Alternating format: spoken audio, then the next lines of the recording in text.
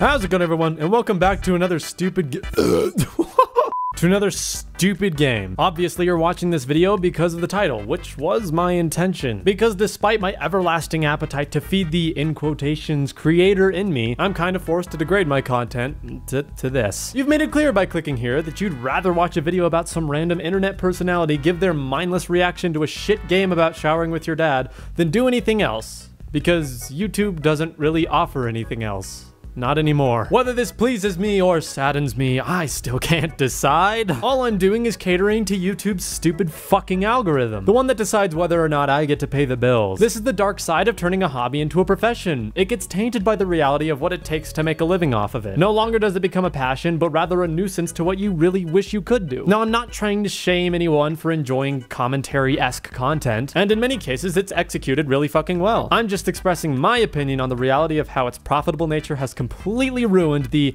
in quotations, creative platform YouTube used to be. When a channel makes money, so do a lot of other people. The biggest of those being YouTube and their disgusting 45% revenue split. Their algorithm calls for consistency and audience retention, both of which contributing to how many and what type of ads can be utilized to maximize the profits on a creator's video. You ever wonder why YouTube has so many fucking gaming channels? Because it encourages the format of how these channels function. Why do you think channels like the Game Grumps, PewDiePie, Markiplier are so goddamn successful? Because they're made to be successful. As soon as it's known a channel is going to be pumping out revenue like grandma cooking dinner for the Christmas family get together, they're nudged into every feed, leaderboard, and recommended content filter they possibly can. Again, I'm not shaming these people for doing what they do, and I'm fucking stoked they get to do what they want for a living. Who wouldn't want to make millions of dollars for doing what you enjoy every day? All I'm saying is treating these people like gods among men only further encourages the feeding of these titans and the subtle neglect of those who could potentially reach that level in a different manner. This is just how the entertainment business works though, as it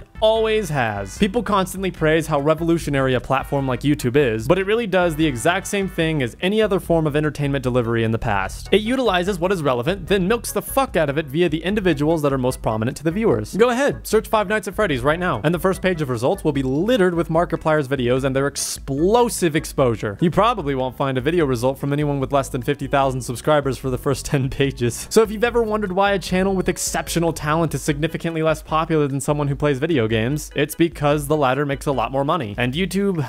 YouTube loves money. All this being said, no, I will not be changing everything I do. Yes, I will still be uploading videos on a regular basis. And yes, I will be another scummy, cringy game commentator. I do try to mix what I love to do with what needs to be done, but at the end of the day, it won't ever fully satisfy the nagging urge to just invest a week into a stupid machinima, because it will only harm my channel and its ability to keep me living under a roof. So if it's ever been a question as to why someone's content gets bland because it's so similar to others, it's because if you stray too far from a specific path, your chance of success flaunters significantly. Creativity does often break through the binary wall of profit, but it will never rival the stability. I do love you guys, and I hope to be there for you as long as I can. There's a lot more to it than the success of a channel. There's the individuals that appreciate what you do. And in the midst of ego, money, and the thirst to be known, many YouTubers will agree that none of these will ever rival the help we've unintentionally provided and the happiness our content has encouraged. Thank you guys for watching my shit and other nice heartwarming things.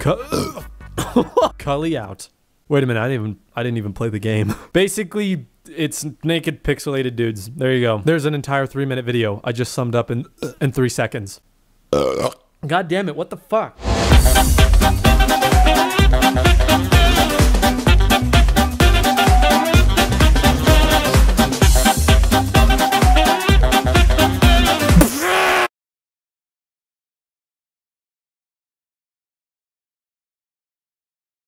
Hey, go for it.